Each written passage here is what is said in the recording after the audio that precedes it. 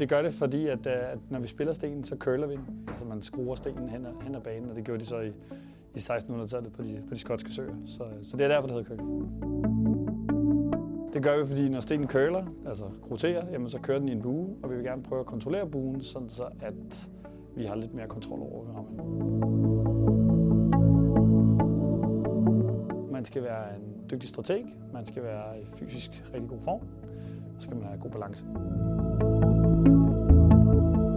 Det sværeste i curling, det er at få styr på nerverne, få styr på det mentale. Ofte så er vi rigtig, rigtig dygtige til at udføre opgaverne, men at skulle gøre det under pres, så er det utrolig svært.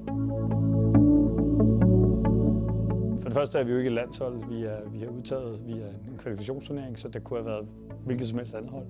Og så er der ikke rigtig nogen penge, øh, sponsorer, nogen navne, der lige er på tale. Så, så det er blevet en tradition, at man i curling kalder sig det kaptajnen.